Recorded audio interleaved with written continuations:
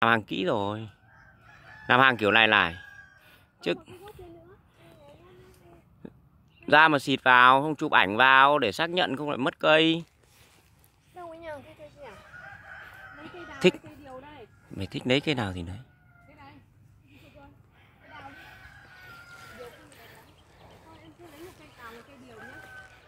đấy.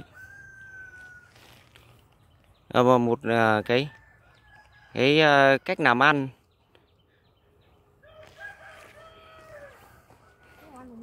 Đấy cách làm ăn như thế này này. Ở ngoài kia người ta cho lên chậu đắt mà. Cái hàng hàng hàng bịch cây bé tí. Ở dưới đất đã sợ à, cái hàng bịch con con đã đã 6 triệu rồi. Ơ đến? ơ đã bảo rồi chưa đi lên trên Xuân Quan thì cứ nên đi đã ở đây là cái vùng nguyên liệu như kiểu là sản xuất thô ấy.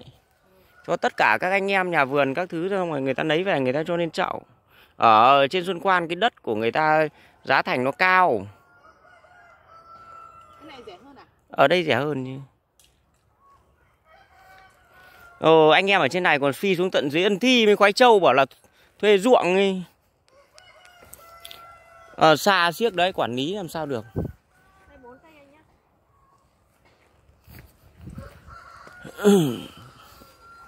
đi vòng sang bên kia mà xem.